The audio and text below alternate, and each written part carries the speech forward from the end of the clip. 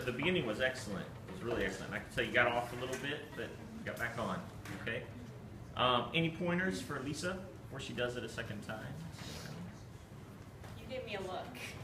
Yeah, I, ju- I just wasn't quite sure where the beat Yeah. was. Okay.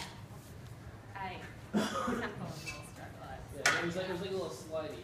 Okay. Going from one to two, you talking about? Yeah. I was trying to keep them like really like like straight and from the wrist, but was too not. Okay. It's great. Yeah, Maddie. I really like your pattern. Thank you. Thank you, Maddie. Oh, sorry. My only Sorry. suggestion is you look like you're still using a lot of tension on the side of your hand, so just shake it off. There we go. Annie. See anybody else? Anybody else?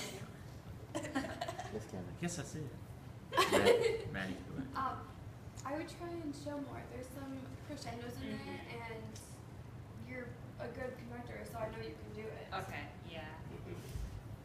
Sounds good. Ready to go? Yes.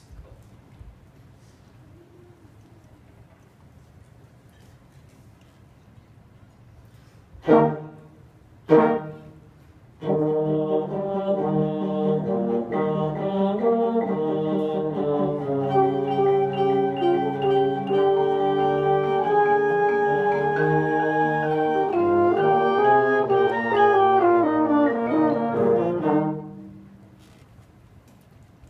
really good. Quite good. Any comments?